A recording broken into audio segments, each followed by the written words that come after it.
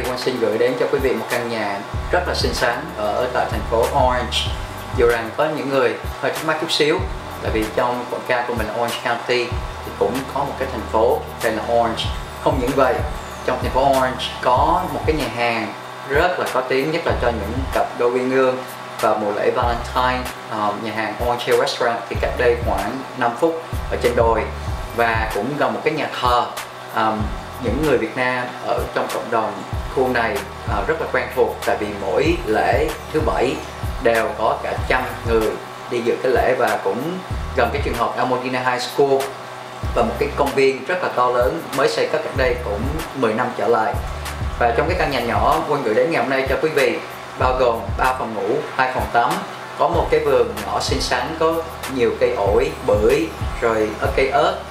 Và không những vậy căn nhà này hướng mặt trời uh, khi mặt trời mọc lên hướng đông và rất là mát buổi chiều gió thổi luồn vào và cái nhà rất là thoáng ba phòng nhỏ nhưng mà rất là ấm cúng. Và thế nên đây là một cái căn nhà những quý vị nào có một gia đình hai vợ chồng hai ba người con bốn người con đây là một cái căn nhà rất là thích hợp cho quý vị. Nếu quý vị nào có thắc mắc quý vị có thể gọi vào văn phòng với số điện thoại là 714 534 4100 một lần nữa xin quý vị gọi vào. 714 534 4100 nếu có những câu hỏi và thắc mắc,